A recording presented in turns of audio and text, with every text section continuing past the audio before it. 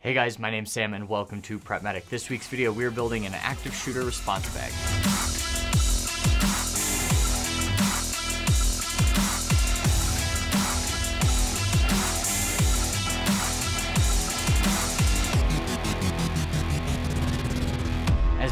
Know, there was recently an active shooter on a subway line. And if you watch any of those news stories or see any images posted on social media, you'll notice that there are a lot of civilians trying to do good for these patients that have been shot in various appendages. Unfortunately, in almost every single one of these photos, what we see are very ineffective improvised tourniquets.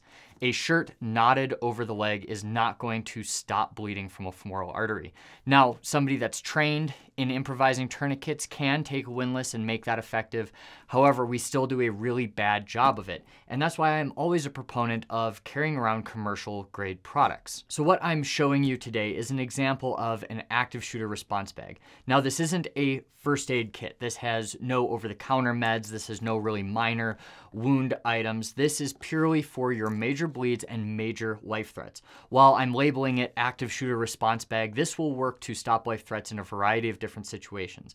Whether that's an active shooter, if you're in a European country where stabbings are way more prevalent, then this will be for a violent perpetrator in that regard. It can be for somebody in cardiac arrest or a car accident that has major bleeding. And really what it focuses on are preventable causes of death. So obviously I don't have stuff in here to cric the guy that doesn't have a head anymore from a shotgun blast or something like that because I don't think that's realistic for most people. Now, for a lot of civilians, this kit is going to be a little bit overkill. It might not be something you want to carry all the time. Perhaps something like this is something you'd be more apt to carry in your car or put at your desk ready to go in case something happens, or even just bring on a commute if you're in a really crowded area. But I don't want this to be like this is what every civilian needs to be carrying because I think there's other ways to carry some of this equipment. What I have in front of you is the Essential Sling by uh, Vertx. Now, I like Vertx, I've got a code for them. You can get some money off, and they do make some really good purpose-built products. This sling, any other sling they make will work for this, as well as uh, any backpack they have. It all depends on the size you want. But also, there are some other manufacturers that make great things. And if you can't afford a purpose-built pack for something like this, then you can really use any backpack. Just be aware that it might not be as ergonomic to get some of the supplies or hold things quite uh, how you want them to be held. So this is a pretty small sling. I'll leave the dimensions up there and we'll kind of get into the main reasons why I like this as a response kit. Number one, I like the bright color. I don't want to be super tactical running into a building because the dude that's all tacked out in their plate carrier and their truck gun um, is probably going to get shot by law enforcement the second they arrive on scene because they're going to look a lot like that active shooter. Uh, actually, Rogue Rescue, who I follow on Instagram, has a great article about truck guns and why we don't want to do them. I want something that's non threatening that I can just take with me uh, on the subway, on a bus, and nobody's going to think anything of this orange and gray pack. Now, in the uh, front of this, I have a really quick, I think it's called a ResQMe. It's just a small uh, window punch that will allow us to get through car windows. You know, you can't take a crowbar to a car window and expect it to break. So something like this is great. It's got a spring-loaded uh, uh, punch there, and then it also has a little razor for a seatbelt cutter. You can reach in, and extricate somebody from a vehicle. So it's really good for egress or getting into a vehicle if you need to, not really active shooter related. Getting into the really active shooter part of this kit. In the main pocket here, I've basically stocked this with enough supplies to treat what I believe would be two uh, patients. So in here, I've got three cat tourniquets, really easily accessible. I have the orange ones. Like I'm trying to dispense with some of the G.I. Joe stuff. You know, you don't need black tourniquets in these environments most of the time. If you're here, you're not there confronting the active shooter. You're here to render aid. And most likely that active shooter has even either moved on uh, or they've been subdued by law enforcement. So that's really what this is made for. So we've got three cat tourniquets, and I just have the Vertx Mac Band, the full Mac Band in there. You can get any number of things. You can even make your own, just sew some Velcro and elastic strips. It sticks right on there, really, really easy to get, and then I can pull these out individually. So you can store your tourniquets any number of ways. Now, the uh, in this pocket here, I've got some QuikClot, some other uh, packing gauze. I basically have three things of gauze in there, one QuikClot, Uh, and then I've got a handful of chest seals. You should be stocking a number of chest seals and pack gauze in these situations. Tourniquets are great in war zones because people have armor on. So usually when you have major trauma from gunshot wounds, they're more likely to have extremity trauma. In the civilian world, um, unless you live in a very, very interesting city, people aren't walking around with plate carriers. So most likely they're gonna be shot in the torso. That doesn't mean an extremity bleed can't happen. That's why I have tourniquets because they're really fast. But we might be doing more chest trauma, more abdominal trauma, things like that because they are not wearing that level of protection. So all of those go in this pocket and I just keep that open for easy accessibility. In this pocket, which normally would be considered like the tablet or iPad uh, pocket, I have two North American Rescue pressure bandages. You can do Olaes bandages. You can make any number of things work in here. Just something to wrap wound pack in or wrap the more minor injuries or even just apply pressure on an extremity injury once I've run out of tourniquets. You can use it for that. Now, up here in the lid, I don't know if you can see it super well, I've got two nasal pharyngeal airways. Now I've kept standard adult sizes. You could differentiate this a little bit to have uh, a couple sizes smaller for your small female patients. They're not all military age males. I think it would be legitimate to carry some different um, sizes besides your 28 French. 28 French is what I had laying around, so I threw them in here. Now I've got four ARS needles, and this is an advanced skill, of course, so don't do this unless you're specifically trained to do it, but these are for your tension pneumothoraces. If I'm carrying chest seals, I like to have something to decompress, decompress the chest because I'm expecting massive uh, chest trauma, uh, depending on what that is. Now, generally, you can just burp a chest seal and it'll work fine, but there are periods where they will develop a tension pneumothorax. Now, in the side, this is not really for your active shooter situations because most of the time uh, we're not going to be attempting resuscitation on your major traumatic arrests. If somebody's shot and they're dead, chances are they're going to stay dead no matter what you do. But if you just have one patient, they're down, it's a relatively safe situation, you don't need to do a rapid extrication, it's legitimate to try to do CPR, rescue breaths, you name it. And then in your run of the mill medical emergencies, you're riding the train and somebody goes down cardiac arrest, it's good to have uh, one of these. I've actually had that situation where I was walking in downtown Madison, uh, looked down, and there was a guy overdosing right next to me. And I, I didn't have a pocket shield.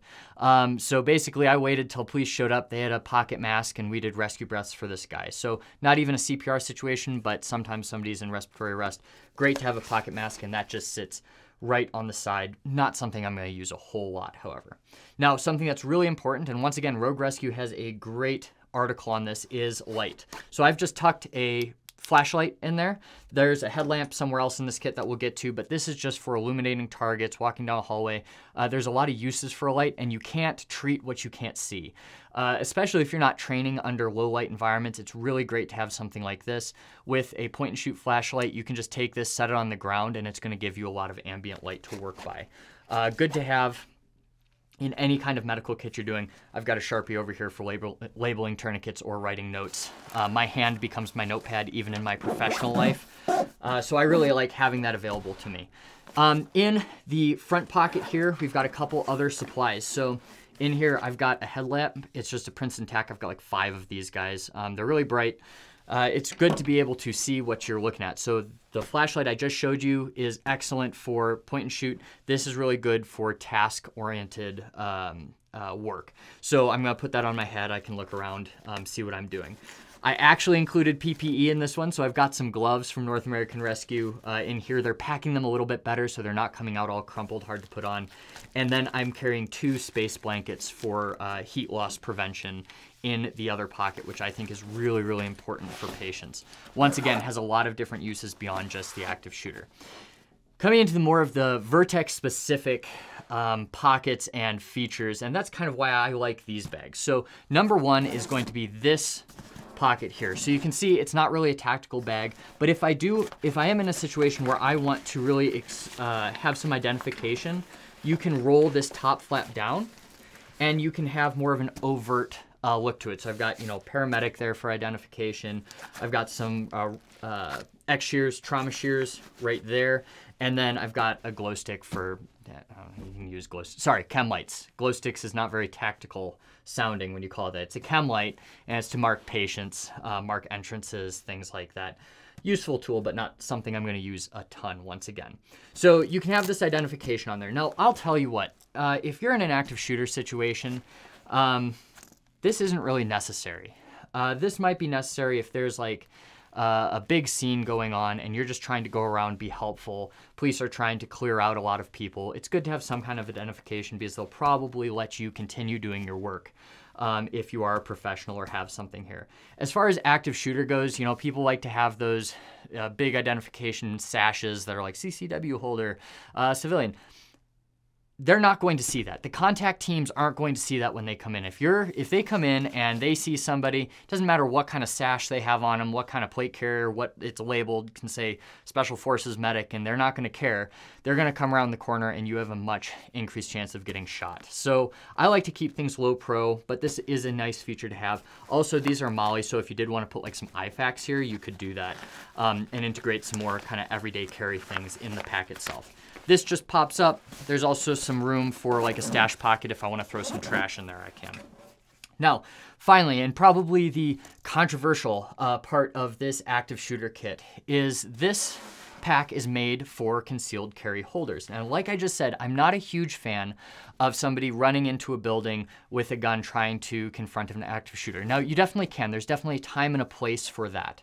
Um, and I'm not saying that you shouldn't do that, but I am saying that you should make that decision for yourself. Chances are, if you have a gun out, like I said, when police come around the corner, you are probably going to get shot. And it's happened time and time again to off duty officers uh, and some concealed carry holders. It's very tragic. However, you have to weigh those consequences with the possibility of being able to end a violent encounter. How I built this is less for confronting the violent shooter and more for uh, being in a situation, taking care of somebody, and then all of a sudden the perpetrator comes around the corner and you have to defend yourself. That's my thought process with this. So in this back pocket, I have actually stored uh, my firearm and then uh, two extra uh, magazines of ammo. So this just Velcros onto the back. This is a tier one uh, concealed holster here. It's a Kydex holster. Uh, Vertx makes something that you can actually clip your normal CCW into it. Uh, you can also just take any any old holster, put some Velcro on the back, and it's going to stick. So that's in here. And the thought process, like I said, is that you have this on you, and then somebody comes around the corner, you can draw your gun and defend yourself um, and defend your patients as well. So you have that in this pocket. And then I've also added um, some body armor to this. So this has uh, Premier body armor. It's specifically cut for this sling.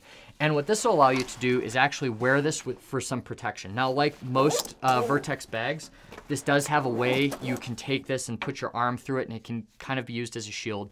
But I was kind of thinking about the uh, usability of that.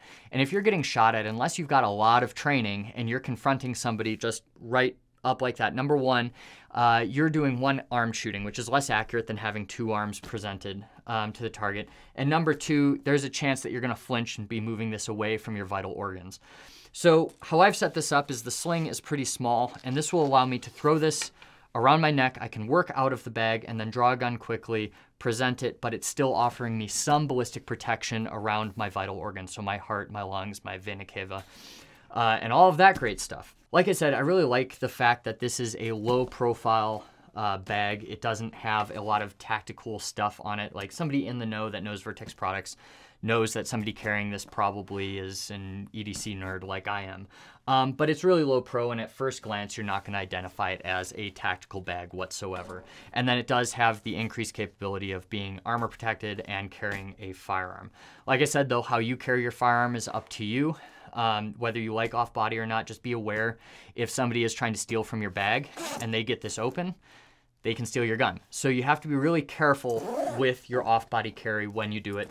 This bag does have rooms for a small lock, um, but that's also gonna slow down your draw. So like everything, it's a give and take. Use your head um, and decide what's uh, important to you going into this. If you have any questions, comments, snide remarks, please leave them in the comments down below, and I will see you next week.